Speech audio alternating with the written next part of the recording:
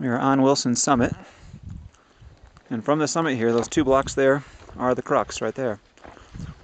So, um, the crux actually deposits you. If you see that, well, you see right past the marmot, you actually get up right through the crack behind him there. This guy's really friendly here, as you can see. So, there's Wilson Peak over there, Gladstone. Pretty awesome views from up here. It's a very small summit. Enough you can walk around and turn around on and feel comfy, but you can't go too far.